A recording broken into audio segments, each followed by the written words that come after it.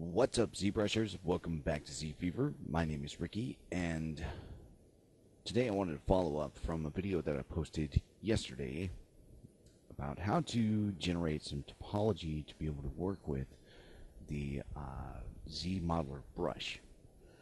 Okay, so uh, yesterday, or I should say today at like 5 o'clock in the morning, I posted a video about uh, using some older techniques by uh, pinning a uh, Z-sphere into the project and uh, drawing out topology, then making it an adaptive skin, bringing it back into your regular project, and then continuing to work with it. But after uh, thinking about it, I was like, you know, there's there's definitely a better way to go about this, uh, and there is a better way, which I've used before. I just didn't put two and two together until you know I woke up today. So, um, here is how I went about generating these pieces. Uh, you know, nothing to speak of, but it's topology that we can work with, right?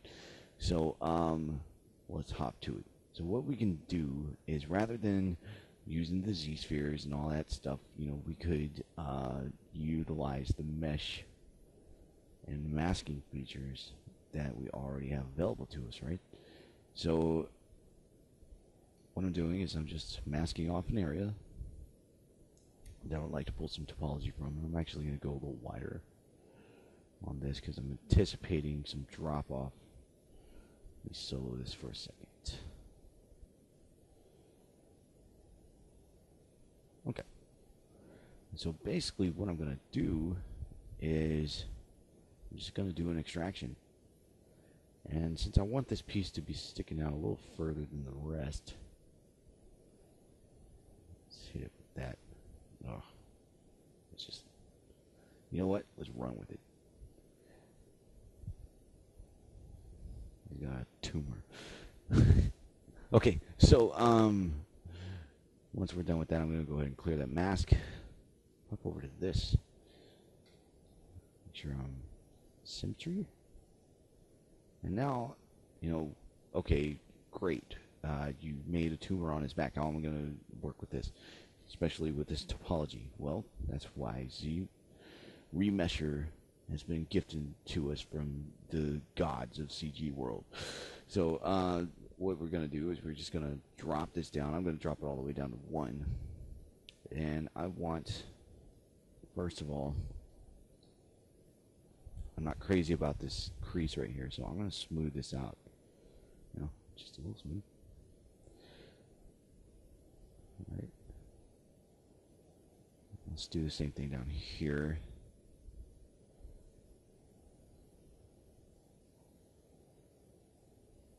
And let's hit it. Boom. Now I got some topology that I can work with. You know, it's not the greatest thing in the world, guys. But, um, I can keep working with this. I can hit it again with the ZRemesher, which I might actually do once I even the surface out.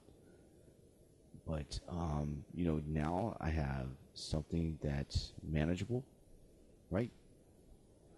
And uh, didn't cost me, you know, 10, 20 minutes to make. So now, all I got to do is work with the tools that have been given to me. And I can, you know, go through and start deleting edges. You know, I don't need all this stuff. Just enough information to uh, capture, you know, the silhouette, right? You know, all those same principles that we've been using for mesh generation you know, we can apply here. And so uh,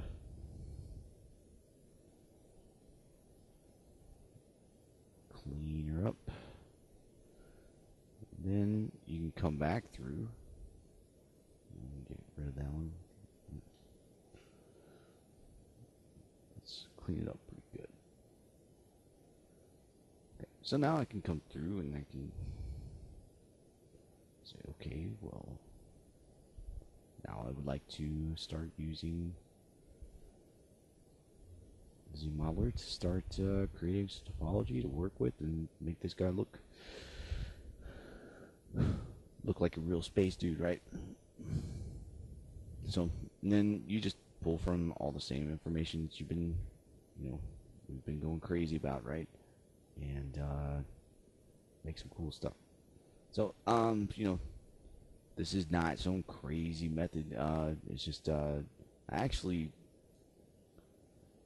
learned to use this from uh, watching Danny Williams' work. Uh, so, uh, Danny, if you ever happen to see this, you know, thanks for uh, looking out for the community and sharing your ideas, man. It's been really helpful to me, and you're an inspiration, dude. Um, so, um, if you guys have any ideas, if you have any suggestions, any things that you would like to uh, be covered here, uh, definitely give me a shout. I'll be more than happy to to you know make a video or talk to you about uh, you know, how to work a certain method. Um, like I said in the previous video, I'm currently in the middle of a certification course, so once I have a better curriculum going, I will be starting uh, a series. So, uh, you know, give me give me your ideas. Tell me what you want to know, um, and you know, we'll come up with something. We'll we'll make it fun. Okay. All right. So uh, I want to thank you for watching. Uh, please subscribe if you haven't already, and have a great day. Happy ZBrushing.